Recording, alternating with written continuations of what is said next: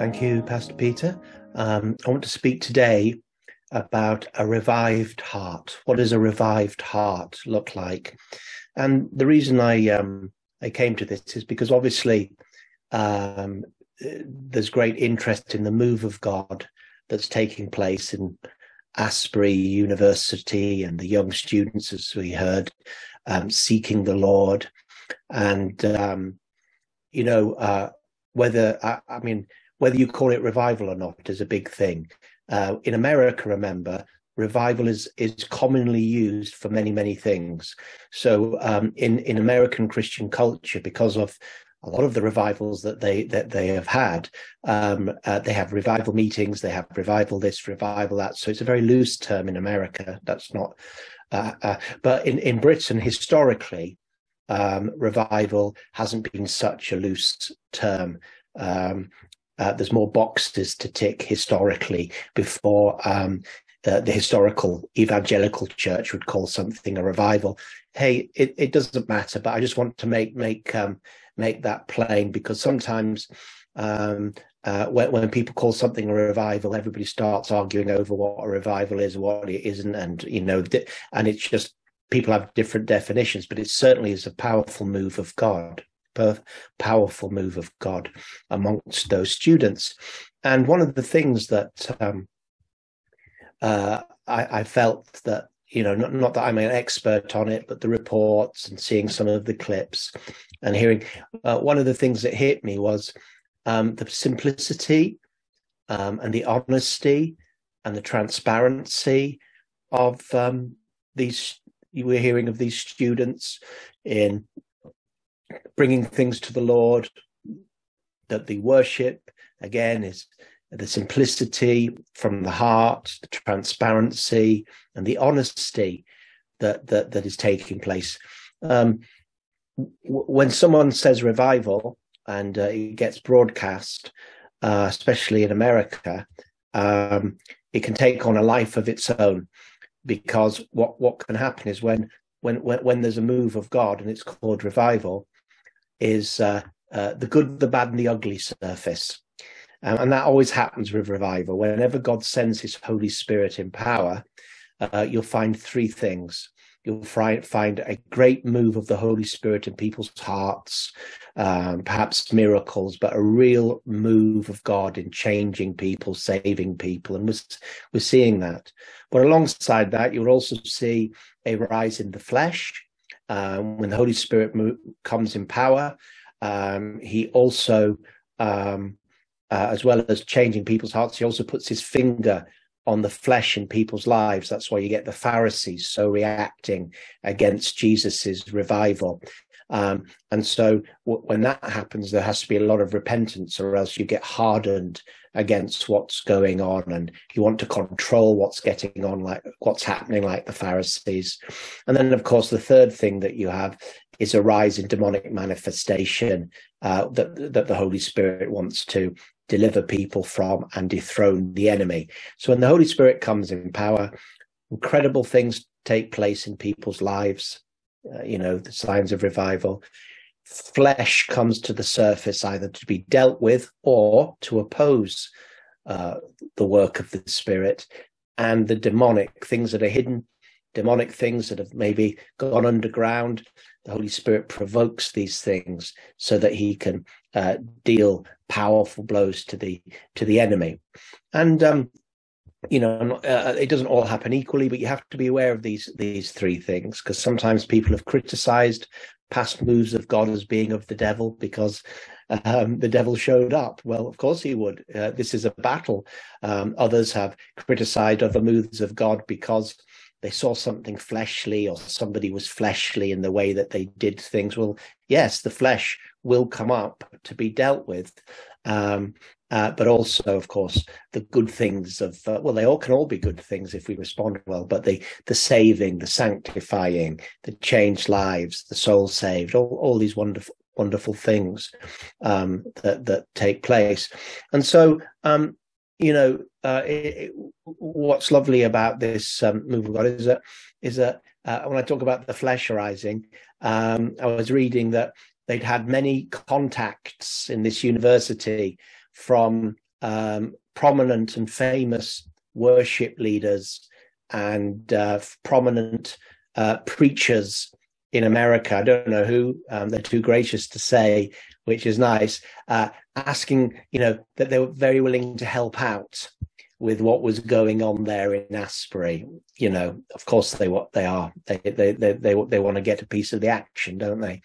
And the wonderful thing was, I just thought, which which is part of what I'm talking about tonight, is that they were very kind and said, um, you you know, you're very welcome to come along, and if there's a a seat you can find um, to sit and worship the Lord with us, but um, you know we're going to continue as we are uh, as the Holy Spirit is leading us using the people that God has led, uh, ordinary people, if I can put that, who are becoming extraordinary. And I like that.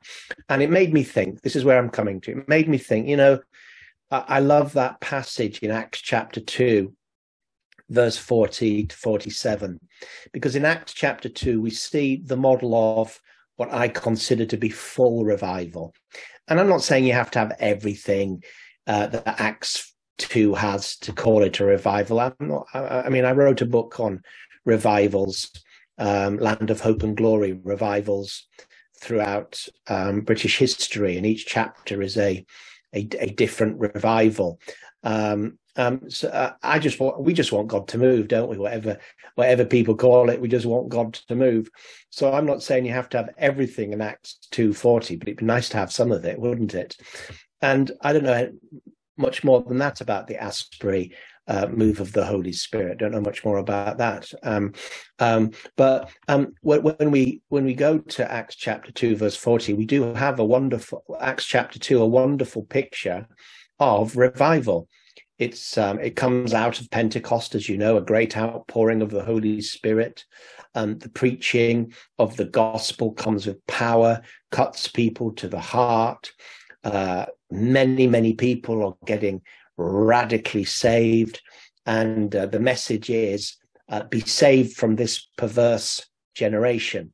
That's the message of, of the revival is, is, is this, this, this generation is perverse and you need to get out of it.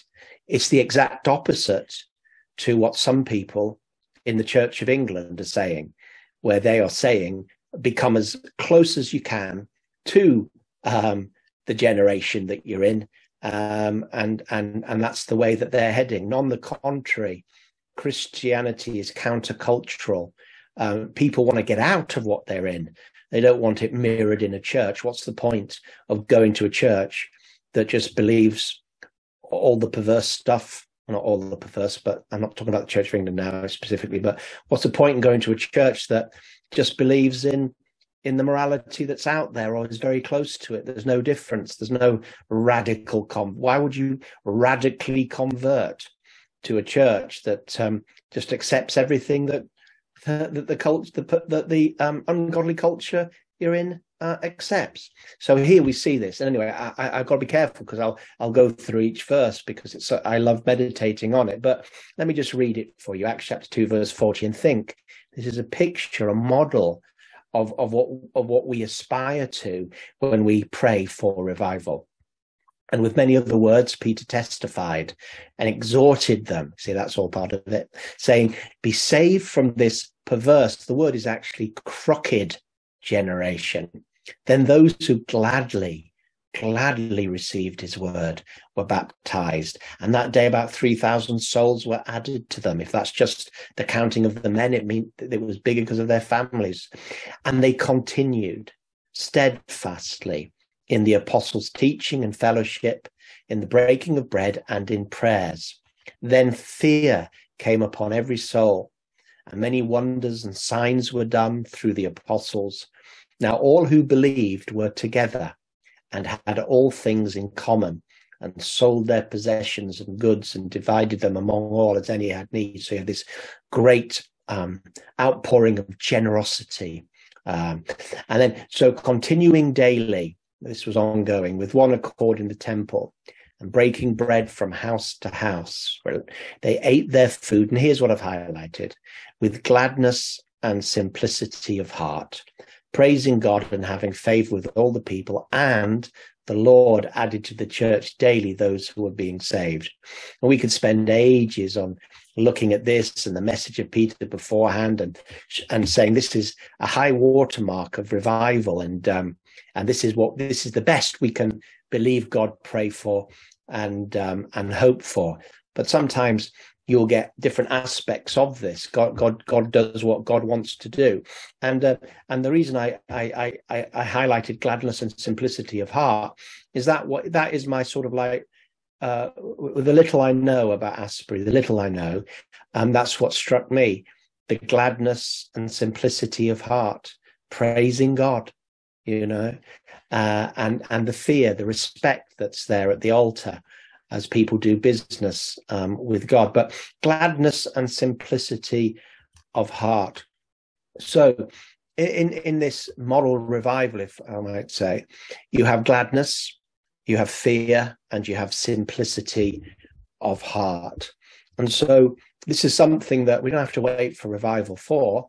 Um, you know, uh, let's not wait for revival; it'll never come. Let let let's let's um, respond to what what the Holy Spirit has already given us, and He's given us so much to respond to, and that, and then we see where that takes us.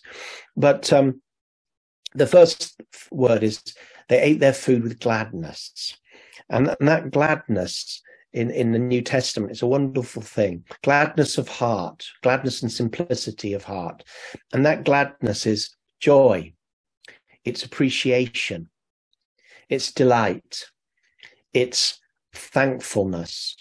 Uh, I remember, I can't remember who it was, but somebody once said, and I thought that's so true, that um, what God hates m- most of all is ungratefulness.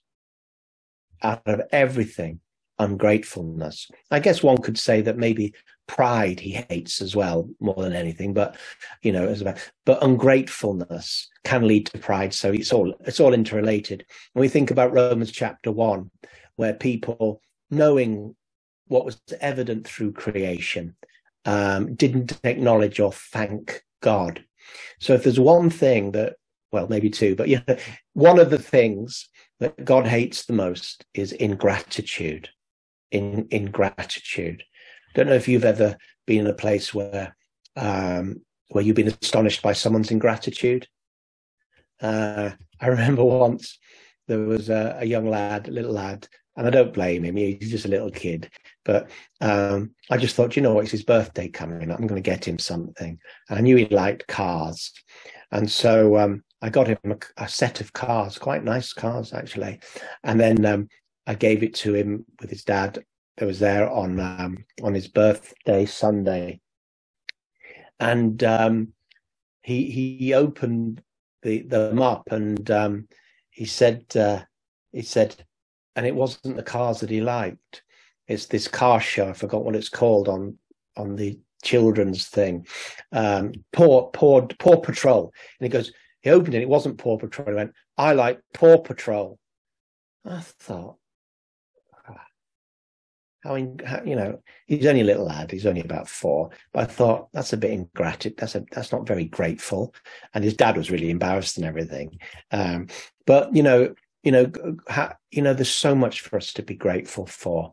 And it says that when he preached and said be saved from this perverse generation they gladly received his word.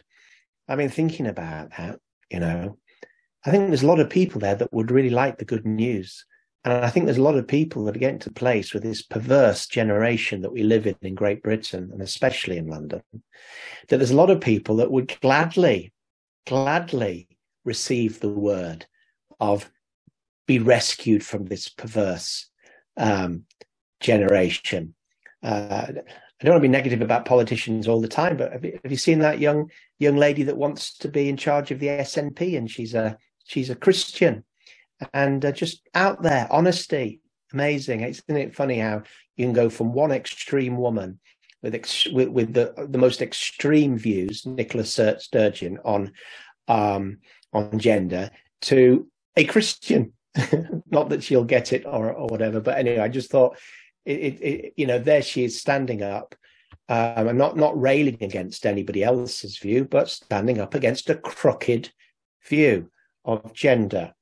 Um, and then and then uh, uh, and so they so they did these things. Now this gladness is gratefulness, and I think that in um, Asbury again, I'm no expert. I've only just seen clips, but there was a gratefulness and a joy in their worship. I don't know if you noticed, and it wasn't ramped up worship. And sometimes, and I've got no problem with like, come on, everybody, let's go for it. I've got no problem with that. No problem with that. We need to exhort. You know, the Bible says, shout to the Lord with a voice of tri- triumph. Lift your voice, clap your hands, all you know. So, you know, we exhort each other. But when the Holy Spirit moves, less exhort- exhortation is necessary.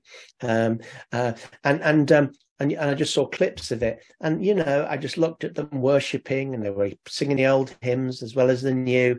And what I thought was, they're just really grateful. They're really thankful for what's happening. They're grateful to God it, their worship is, you know, joyful, grateful, uh, and it comes from a grateful heart. And and and so here they had gladness of heart. This describes the people in Acts two forty. It says the people. Well, we've had all this stuff happening. We've got bread and prayers. We've got meetings and giving and everything like that. But when it comes to their heart, it's glad. It's glad.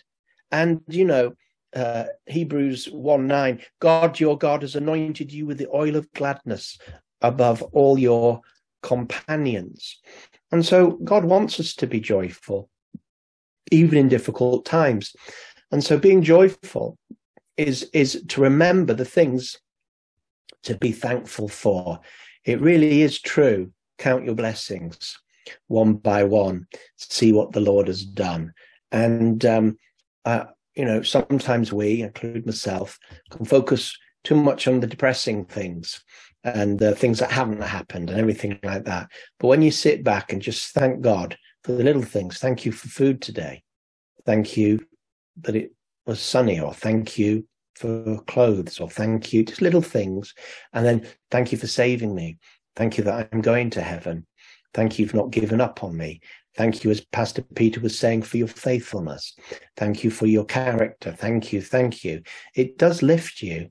And so, gladness of heart. The, next, the next one is simplicity of heart.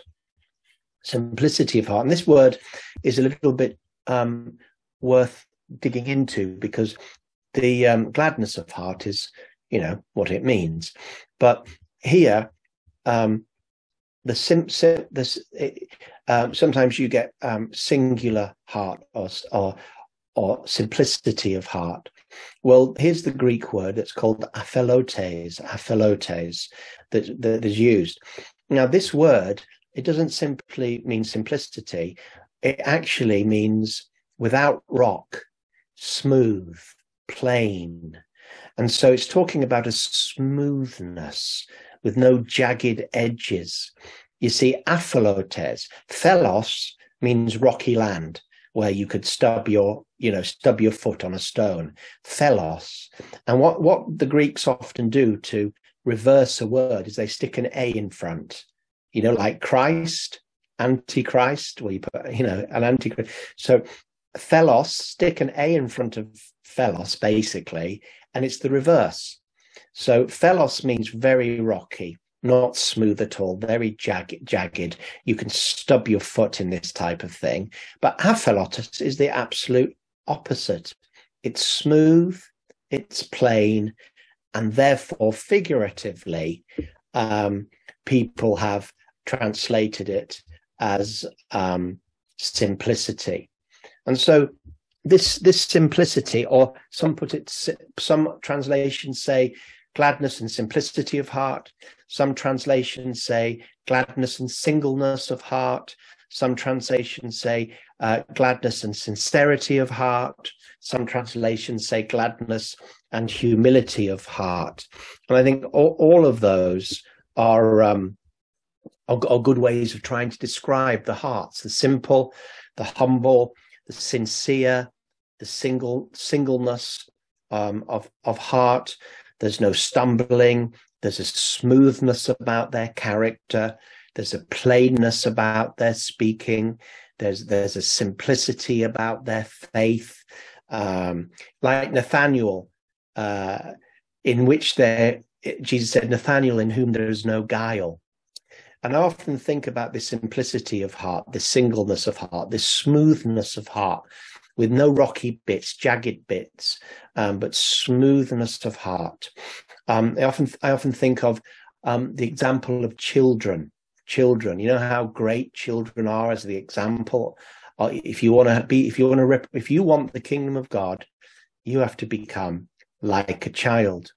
And I've been thinking about children recently because when I went on holiday last week uh, with my wife, and uh, we were going to different parks, and she's a teacher at a girls' school, and um, and and and when we were at one of these parks or one of these places we were visiting, um, I noticed little children skipping, and I said to Nicola, and I spoke, spoke to her before, I said, "Isn't it wonderful how little children skip?" They, do, they don't even think about it. They don't even notice it. They can't just walk and they don't go into a run. They just can't help but skip. It's the, and I really, really, over the last couple of years since I noticed this, in, it makes my heart glad. If I'm in a park or I'm walking past a family and there's the little girl or the little boy or whatever, and they're behind and they're just skipping because that skipping tells you everything about what's going in there on in their heart, doesn't it? Happy enough to skip. And Nicola, I'd spoken to her before about skipping children. That I just think it's wonderful. It just says so much about what's going on the inside of them. And she said, yeah, she said, I can't remember if it was age seven or eight, I can't remember. But she said, I've noticed that at about age seven, um, they sort of stop skipping. And so she she would say to some of the girls, who I think were about the age seven or eight, I can't remember which one it was, um, when the little toddlers in the school um, would come from their nursery section or whatever, the young the young infants, to come to assembly, and they would come first, and the older girls, seven, eight, nine, I don't know, uh, they would be waiting for them. Nick would always say, "Look at them all! Look at them skipping. Do you remember when you used to skip?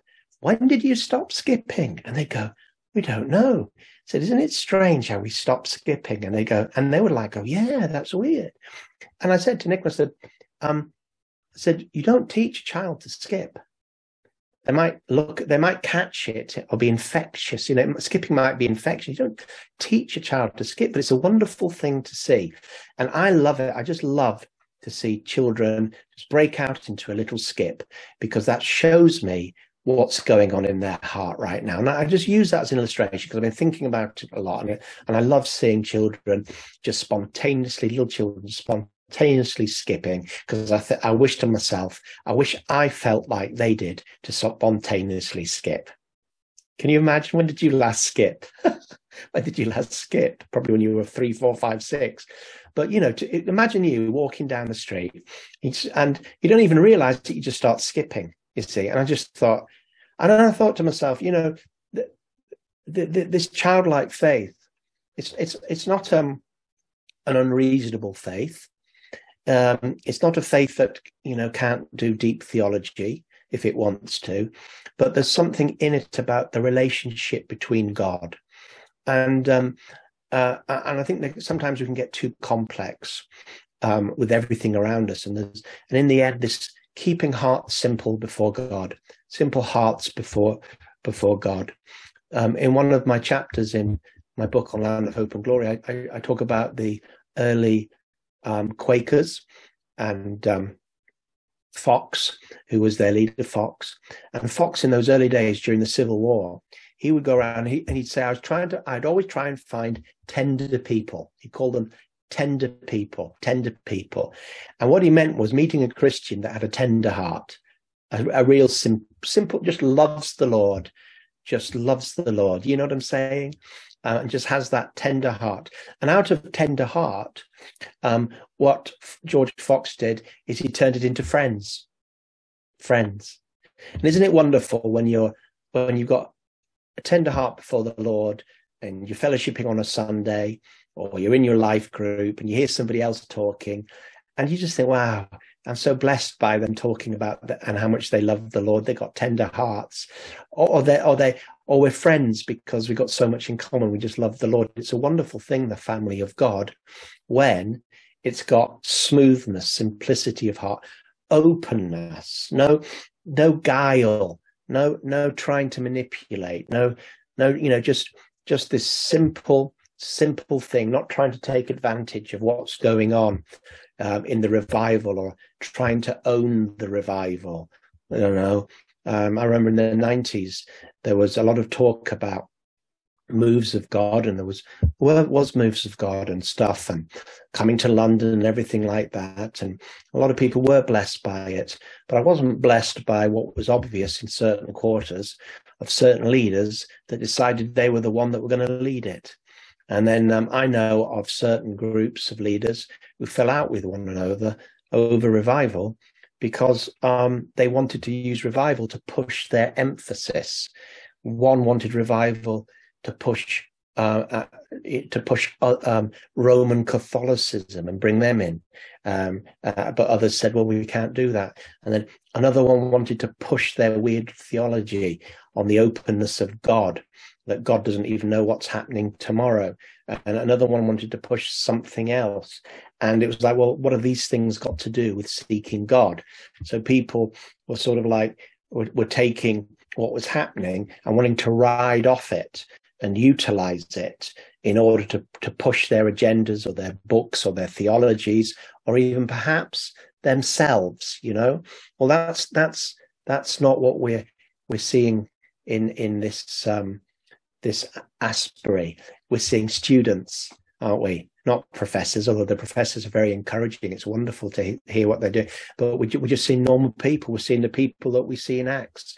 Of course, there's leadership there, there. Of course, they're just not le- left to their own devices. Of course, there are leaders among the students and everything like that. But there's a simplicity, and um, that they're not trying to be anything. They're not all going on circuit preaching across across America. They're all still doing their studies. So there's something simple and beautiful about about this, and um, and I just think what we can learn and what we can focus on is let's be glad, you know, and grateful, and and let's keep no matter how deep we want to go in our reading and our study and our thinking and all these things in the end let's keep our hearts smooth not jagged and simple before the Lord. And no matter how technical we get with our theology and everything like that, and how complex life is, let's make sure that when it comes to standing before the Father, we are we are um, we're like children that skip.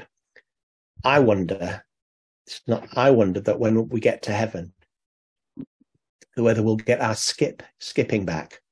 I wonder when we get to heaven and all the cares of this world have gone and all the sorrows and all the things we've gone through, that when we get to heaven, we'll get our skip back and we will just, like a little child, just be in awe of everything and everything a new discovery, everything wonderful, everything happy. And I wonder, you know, that, that, but uh, we might get our skip back in heaven, but we should also make sure that there's as, as much as we can with the Holy Spirit, there's still a skip in our hearts because we are grateful. Thank you, Pastor Peter.